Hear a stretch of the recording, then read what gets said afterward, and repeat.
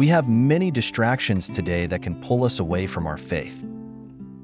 When stress, anxiety, or difficult times come our way, we may turn to our few real friends or even a voluminous number of virtual friends or followers.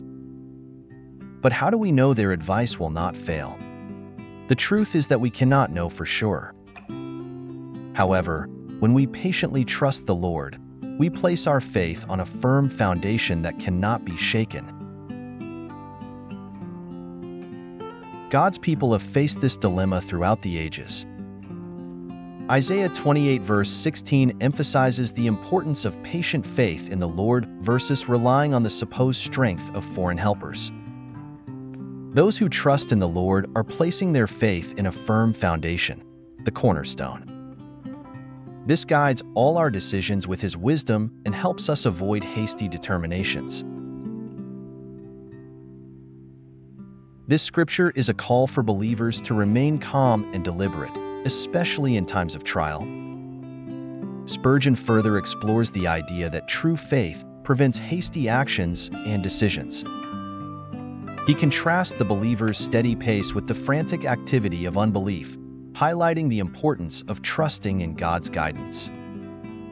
He concludes with a personal reflection, urging the reader to examine their own faith and find peace in patiently waiting on the Lord.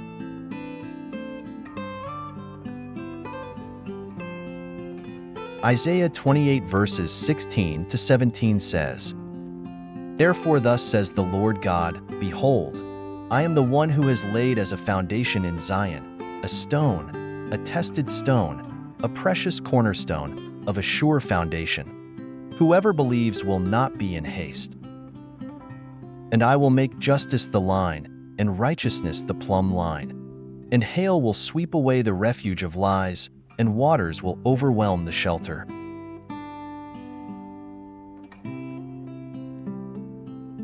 Here are Charles Spurgeon's words of wisdom from his work in The Checkbook of the Bank of Faith.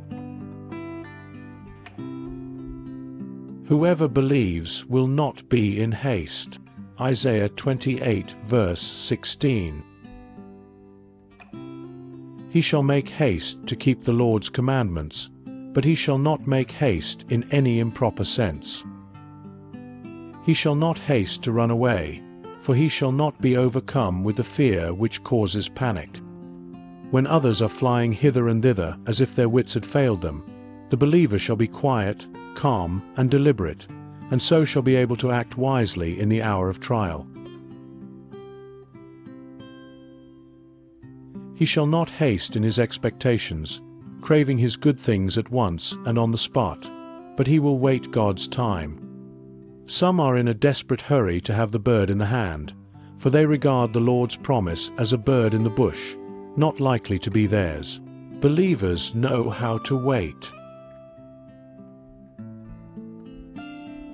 He shall not haste by plunging into wrong or questionable action.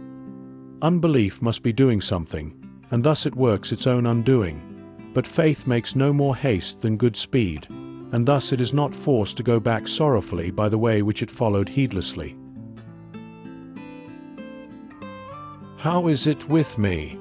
Am I believing, and am I therefore keeping to the believer's pace, which is walking with God? Peace, fluttering spirit, rest in the Lord, and wait patiently for him. Heart, see that you do this at once.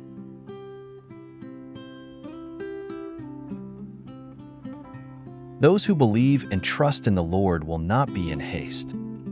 Are you patiently waiting on Him and trusting in God's timing? Do not rush into hasty actions or expectations, but rather wait for God's guidance. As Spurgeon encouraged us, examine your faith today, calm your spirit, and find your peace and rest in the Lord.